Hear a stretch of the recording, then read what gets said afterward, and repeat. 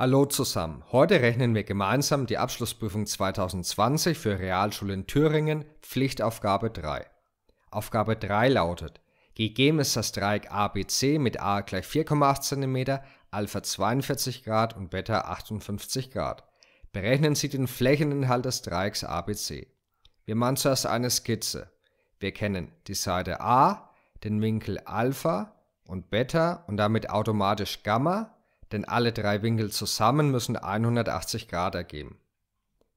Wir können jetzt den Sinussatz benutzen und zwar eine der beiden Seiten noch berechnen. Ich berechne die Seite b.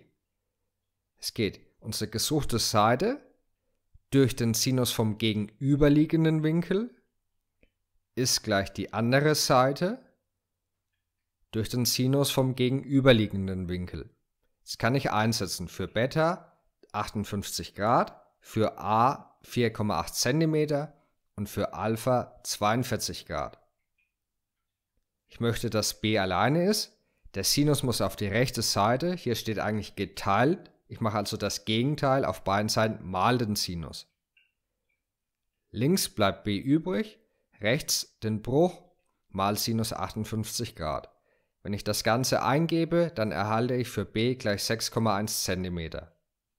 Den Flächeninhalt bekomme ich mit der Formel 1 mal b mal a mal Sinus Gamma raus, also die beiden Seiten und der eingeschlossene Winkel. Für b setze ich 6,1 cm ein, für a 4,8 cm und für Gamma 80 Grad. Das Ganze in den Taschenrechner eingeben und ich erhalte einen Flächeninhalt von ca. 14,4 Quadratzentimeter. Aufgabe B. Zeichnen Sie das Dreieck ABC im Maßstab 2 zu 1 auf unliniertem Papier. Wir benötigen dafür den WSW-Satz, das heißt, zwei Winkel sind gegeben und die eingeschlossene Seite. In unserem Beispiel die Winkel Beta und Gamma und die Seite A. Wir beginnen im Maßstab 2 zu 1 bedeutet anstatt 4,8 cm die doppelte Länge, 9,6 cm.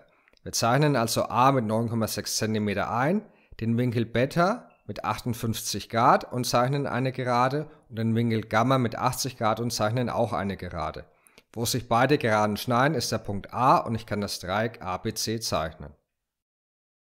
Hat euch mein Video geholfen, würde ich mich freuen, wenn ihr meinen Kanal an eure Klasse und Freunde weiterempfehlen würdet. Vielen Dank und bis bald.